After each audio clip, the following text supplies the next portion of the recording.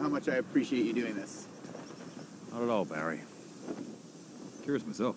Yeah, and it's not like a competition, you know? Well, it it is a competition, but, you know, it's not like a macho um, measuring thing. But if I win, you're off the team.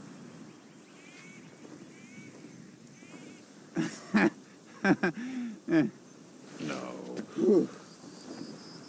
if I win, Bruce said something about you having to take us all to brunch? Oh, see, now that's cold. That's a betrayal. I feel stung by that. Okay, but if I win, I get to tell everyone. Deal. Which coast? Uh, you know, I've never seen the Pacific, which is that way because the sun and it's